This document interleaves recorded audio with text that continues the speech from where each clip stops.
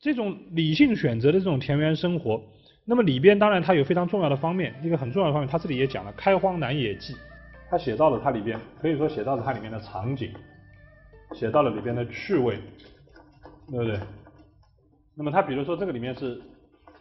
这个劳作的部分肯定是是有的啊，劳作的部分肯定是有的。但这个劳作的意义是什么？因为过去很多人就分析说，这个陶渊明的劳作啊，有的说他真的像个老农一样的劳作，有的说不是的，他有很多这个童仆啊，他自己不一定是劳动。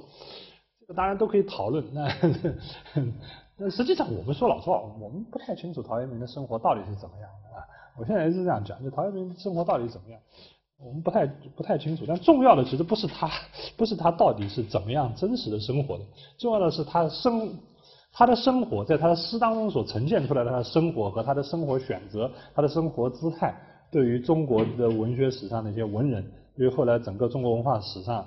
他留下了什么呃影响是什么啊？那个影响是什么？这个实际上是最真实的。那可能和陶渊明自己的真实生活是有差距，或者说不一定那么吻合，但实际上这个是最真实的。啊，这个也是一种真实的，所以，所以你看他讲劳作的时候，他是这样讲的。他实际上劳作对陶渊明来讲，他也是在这个具体的实践劳作的实践或者耕作的开荒南野记的这个耕作的实践当中，实践在实践他自己的这个人生哲学，也可以人生哲学。《归园田居》的第三首，那个看。刚才我们讲的是第一首，你看他第三首，第三首他讲这个种豆南山下，这个是我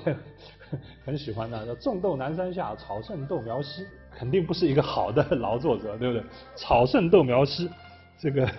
草长得很多，这个豆苗长得不行啊。晨兴理荒岁，待月荷锄归，啊，就很辛苦啊，早晨就这个出去了的，晨兴兴就是起来嘛，我们讲兴起兴起，早晨就出门了啊，待月荷锄归，晚上回来了。然后呢，稻下草木长啊，这个稻下草木，这个稻草木长啊，这个路很窄啊，田间的路，这个草都长得很那个。那结果是什么呢？夕露沾我衣，因为回去的时候这个都有露水了啊，这个夕晚上的这个露水把我衣服都沾湿了啊。那么他下面讲说呢，衣沾不足惜，但使愿无违。我就特别看这个愿字就有意思啊。所以这个草盛豆苗稀也不要紧啊，这个夕露沾我衣也不要紧。最主要是什么？愿无为，愿是什么？是他一个主观的一个心愿、一个意愿、一个方向。那什么？就是按照他自己本性的生活，在田园当中完全完成他自己的这样一种、一种、一种、一种、一种、一种愿啊。那这就是一个主观的。这个主观呢，当然不不仅仅是一个情感，就陶渊特别有意思，就是他情感和理智都是有的啊。他实际上这个这个里面有很大的这种理性的一种选择。所以他实际上在讲讲这样一个问题啊，他实际上在自然当中在在体验，最后实践他自己的这个人生的理想啊。他之所以要这样做，实际上是出于这样的目的的啊，这样的目的的。他有很多这样的诗，比如说那个饮酒诗也是非常有名，那个祖诗里边。呃，饮酒里面那一首大家非常熟悉的饮酒的第五首，就结无结庐在人境而无车马喧，问君何能尔？心远地自偏。采菊东篱下，悠然见南山。山气日夕佳，飞鸟相与还。此中有真意，欲辨已忘言。啊，这个这个都是讲，你可以看他在这里采菊东篱下，悠然见南山，他那种悠游在田园生活当中的这个场景啊，所以对他来讲，这个田园是他要安置自己生命意义的所在。他抛弃了这个所谓官场。所谓的红尘，所谓的世俗的那条道路之后，他需要有一个安置自己的地方，或者安置自己的方向。所以你回过头来整个来看，就陶渊明田园，起码在他的诗当中所呈现出来的这个田园，首先的意义，首要的意义就不是在于求生，不是他求生的一个地方。所以在这个意义上来讲，他这个所谓草盛豆苗稀，这个对他来说不是一个问题啊，不是一个问题。那个在田园生活当中。他是要实现他自己理想的，所以在这一点上，陶渊明我觉得他也是非常了不起的。他是他是很好的体现了中国文化的当中一个非常非常重要的一个特点。那特点是什么？就是讲所谓的观念、所谓的理论和实践两者之间必须是结合的。一个高远的觉悟和高远的一个理想，要在最最普通的具体的生活当中去实现它。因为陶渊明所谓归隐田园，他在劳作。你看起来他跟一个一般的农人是不是一样？其实是在外表上来看似乎是一样的，呃，似乎是一样的，但实际上是有所不同的。就是说，因为陶渊明他内心里面他有那个觉悟，有这个自觉，他是在努力实践自己的生活哲学，呃把握他生命的意义。所以这点他是跟一般的一个同样在那里劳作的农人是不一样的，是不一样的。所以因为有了这种高远的理想，所以这种劳作的田园当中劳作的行为或者类似的这些行为，不再是简单的，而是具有意义的。而通过这些行为，这个理想在通过这个实践，理想也不是虚幻的，而是切切实实可以把握、可以去做的。所以这一点在陶渊明也是非常的、非常的了不起啊。所以这两个方面，就是说陶渊明的所谓的原理和实践这两个方面来。那么当然我们当然要谈一下这个陶渊明诗的艺术。陶渊明诗的艺术基本上用最简单的话来讲，可以讲是淡而有味，呃，或者呢用后来这个。这个苏轼苏东坡的话，他讲他是什么呢？智，这个智是我们过去讲的这个文和智，中国过去讲的文和智的这个对应的来，这个意义上来讲的这个智，就看上去是很智啊，很朴素啊，很简单，很朴素，但是呢，内里实际上是什么？很漂亮的，是绮丽的啊，内里是有这个。凄厉的这个感觉的，所以它是淡而有味，或者质而是奇啊，是可以是这样讲。就陶渊明的整个诗，总体来讲，你你如果比较的读，可以很清楚的看到，它是比较朴素、比较自然的啊，它没有过度的外在的修饰。当然有些也是有的，比如说他讲这个羁鸟恋旧林啊，词于思故园啊，对不对？这个也有一些对啊，这个放在十与五啊，草屋八九间啊，你也可以讲它有点对。但它整体来讲是非常的、非常的平易、非常的这个单纯、非常流畅的。那起码这个诗是这样的，所以所以是这样。但是这个里边来看，那实际上它里面是包含着它那个美，这个美是那种自然的美，是那种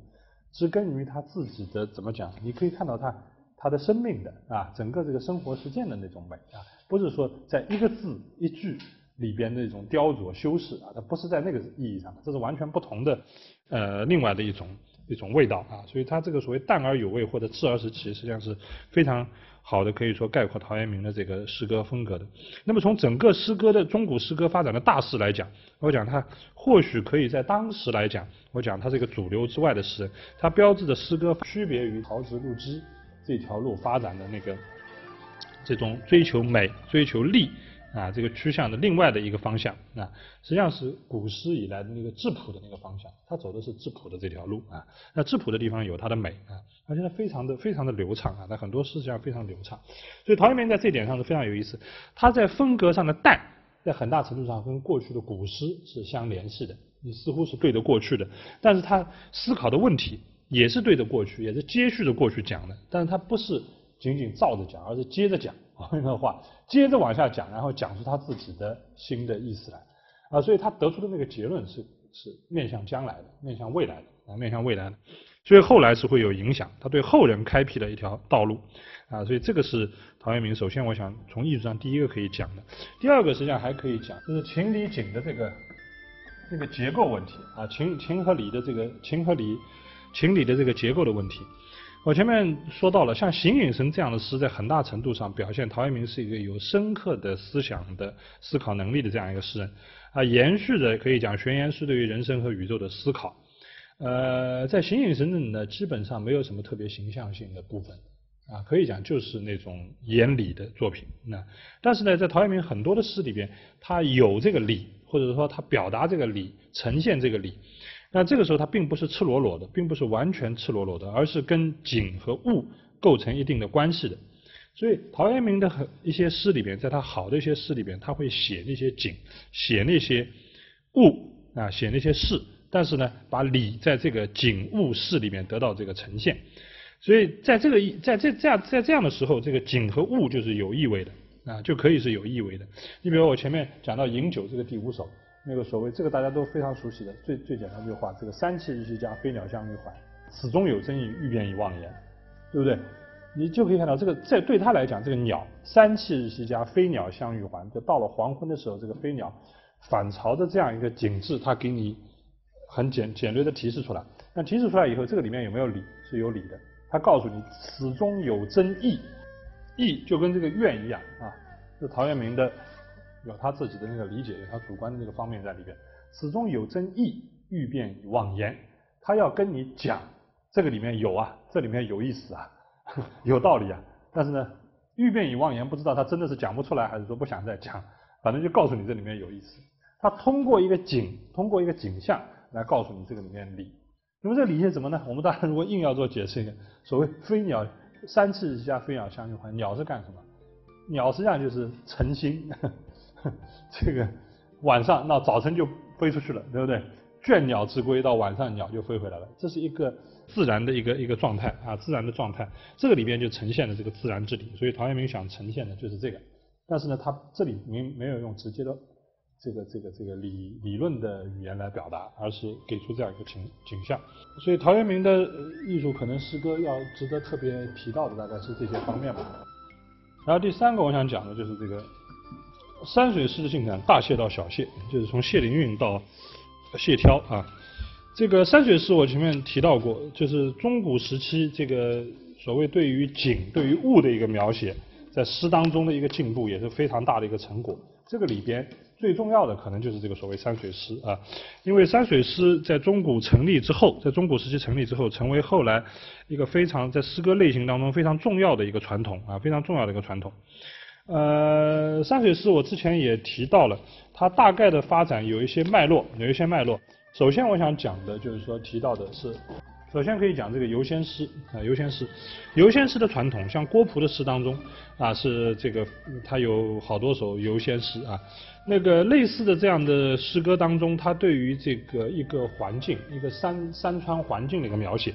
呃，实际上是导向山水诗的一个非常重要的方面。这些刻画有的时候是比较集中、比较细致的，但是呢，当然这些呢不是呃和和后代这个谢灵运他们的山水诗并不一样。他可能是理想境界当中的那种山水诗啊，是那那样的山水诗。那个，但是呢，这个我觉得是一个是一个可以考虑的源头。当然还有一个，当然就是提到的，就是所谓的这个玄言诗啊。我们上次提到的这个玄言诗，就玄言诗当中，因为山水，因为自然的景物，代表了这个山水是代表了这个这个，因为山水自然景物代表了这个所谓的天道。啊，这个天道的这个流行，天道的呈现，所以在这个玄言诗当中，有的时候有这些景物的描写，包括山水景物的描写。那这些景物，像兰亭诗里边，这个它是有玄有玄理的，同时也是有山水的表现，景景物景物的这个表现的，两者之间结合。当这个两者之间这个有。比此消彼长的关系，当山水的部分逐渐增加的时候，现在一般的学者也都呃肯定这个所谓的这个山水，呃在玄言诗当中是有一条发展的线索的啊。用这个刘勰的话来讲，所谓庄老告退，山水方知啊，是有这样一个嗯校长的一种关系的啊。所以这些因素结合在一起呢，在诗歌在文在诗歌传统当中，这些因素结合在一起，其实山水诗慢慢的就是啊最后成立。然后呢，当然最主要的是就是在谢灵运这里。那谢灵运呢，这个身份我们他当然比陶渊明的时代略晚一些啊，略晚一些。那么那个嗯，这两个人呢，经常我们实际上是可以把它放在一起来比较的。那这个谢灵运呢是真正的贵族啊，真正的贵族。那个呃，他一生的问题是他因为出生在这样一个贵族的家庭里边，所以他一直是有。怎么讲？不叫以天下为己任，就是以这个国家为己任的。他觉得是一定要是要有所作为的，而且是完全是有可能有条件是有所作为的。啊，但是呢，在当时这个各种各样复杂的这个政治的错综的情况之下，他一直没有实现啊，没有完成自己的这个呃，而且呢，他这个人的性格可能也比较的偏躁啊。反正一直是不成功啊，但是呢，这个他他出来做官，然后呢，这个又出来到地方上做官，甚至退到自己的田园当中，退到自己的庄园当中啊，呃，生活，呃，所以他这个进进出出、起起落落很多次啊，最后是在广州被杀的。所以他的这个生活其实跟陶渊明比较起来，是他是一个贵族，而且非常的不安定啊。其实你可以看到他他。他生活当中那种紧张感，比陶渊明要强烈的多啊，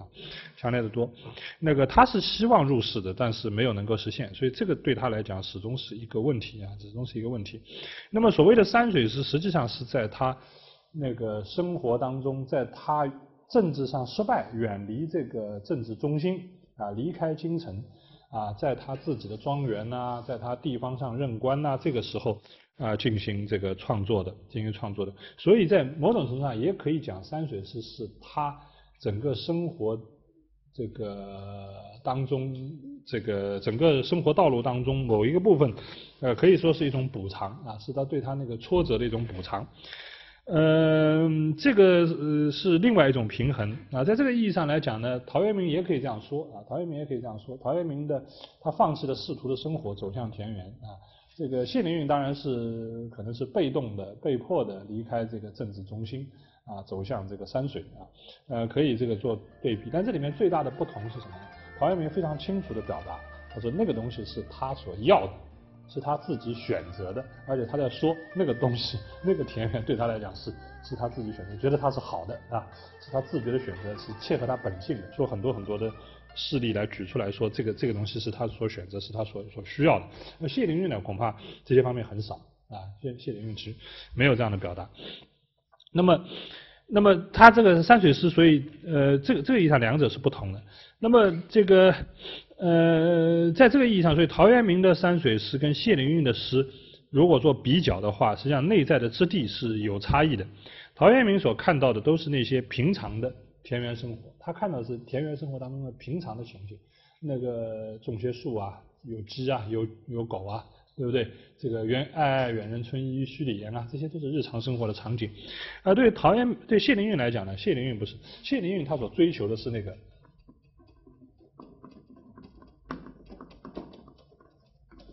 它是那个山水的奇异，山水的奇异之处啊，是奇趣，追求的是那个奇趣。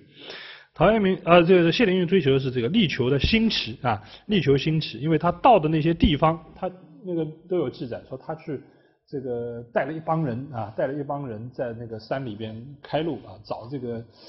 奇山异水啊，这个风呃，可以讲是叫什么？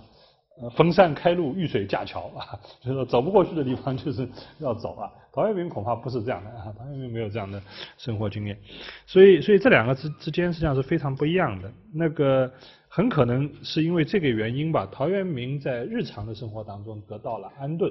啊，他基本上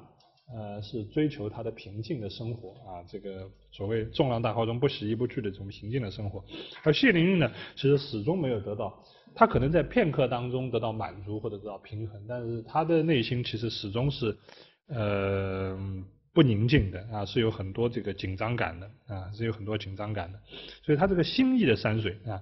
这个所以他后来走了那些地方，然后写的这些诗，这些诗以后传回京城的时候，大家都纷纷的传写，因为这个觉得非常的非常的非常的好啊，非常的这个呃新奇啊。呃，他的那首诗是。头上几句是说他要出去游游览，啊，然后呢，接着就是开始写景啊，说这个如何如何啊，这个林林鹤敛暮色，云霞收西飞，这时候开始就写他这个景致啊，但是到到最后呢，他讲这个绿淡物自清，啊，意切理无为，既言色声客，似用死倒推。他这个诗基本上这首诗基本上一开始他他谢灵运的诗经常这样，他山水诗是说一个人出去出游啊。出游以后呢，他会就一开始会交代一个事情的一个起点，呃，出游，然后呢会写他这个呃出游当中啊他所所见所闻，他游当中所看到的这些场景，最后有一个理论的一个尾巴啊，一个关键的一个尾巴，呃，所以它基本上是这样的，所以对他对谢灵运来讲，它里边也还是存在着一个所谓的景和理的这样一个关系啊，还存在着一个景和理的这样一个关系。这样一种关系，其实就非那个从从大的方面来讲，呃，很清楚可以看到，这个这样一种关系，其实就是玄言诗以下就有的。你在兰亭诗里面都可以看到啊，都是一个景和理的一个关系，怎么来怎么来呈现的一个问题啊。那么对对谢灵运来讲，他还有一个非常重要的，就是还有玄言的尾巴。那么他在艺术风格上来讲呢，他可以讲是雕琢刻画的。当然，这个雕琢刻画是在什么意义上来？来来比较的，比如他跟陶渊明做比较，在后代的眼光当中，他跟陶渊明做比较的时候，他他是可以讲是雕琢刻画的；而在当时的诗坛上，他跟其他一些人比较，甚至人家会说他是什么呢？是他所谓自然的这个呃朴素的。当时另外一个诗人，呃，他因为陶渊呃谢灵运基本上已经进入这个宋了嘛，对不对？他非常重要的生活阶段是在刘宋，在南南朝那个宋那个阶段，所以当时那个很重要一个事情就是鲍照啊，鲍照曾经就评过他的诗啊，呃，说他这个叫出发芙蓉，自然可爱。现在实际上很难理解这样的话啊，我们单独看谢灵运的诗，其实很难理解这个话，说他怎么这个自然啊，包括这个，呃，这个所谓他的诗里面很有名，所谓池塘生春草，园柳变鸣禽啊，那就是说，哎呀，非常。非常非常自然的啊，不是那种繁物的啊这样的作品啊，这个在当时来说和其他的诗人，比如说跟当时另外像颜延之这样的诗人比较起来，颜延之比较起来，他恐怕是比较自然的。但是我们知道，那个对一个诗人的历史，一对一个诗人的评价，其实不是呃不是仅仅我们现在很多评价实际上都是后代的评价，后代是在一个变化了的不同的。这个视野当中来观察做判断的，所以当时认为自然的谢灵运，随着时代的变迁，陶渊明的地位提升，当他和陶渊明做比较的时候，他就变成一个我们讲的就是一个雕琢刻画的一个代表了，雕琢刻画的一个就呃呃变成是这样一个人了。所以因为确实就陶渊明我前面说他在主流之外，呃他和谢灵运是属于两种完全不同的这个诗歌传统，一种是所谓古朴的浑沉的。呃，对，这是陶渊明。一种呢是用力刻画的，是一是用力刻画的。呃，这个谢灵运实际上是有这种刻画的功夫的。这种刻画的功夫，你往前推的话，就是你去找，比如像陆机啊，就非常明显。他有很多的那种那种方式啊，那种努力的方式，跟陆机还是有很大的这个呃前后相承的特点的。我这里用一些最或者举两个例子，这也都是非常有名的例子。呃，很有名的诗里面的例子，他讲，比如说像这样的例子，这个所谓的暴啊，所谓的媚啊，你不能说它不好，但是你整个读上去，就你跟跟就是陶渊明这个完全是不同的啊，阮籍、陶渊明的句子是完全不一样的啊，啊，这这这个都是下功夫的啊，这是在刻画的，是安排的，呃，有锻炼的，啊，是有锻炼的，有些这个有些写的也是非还是不错。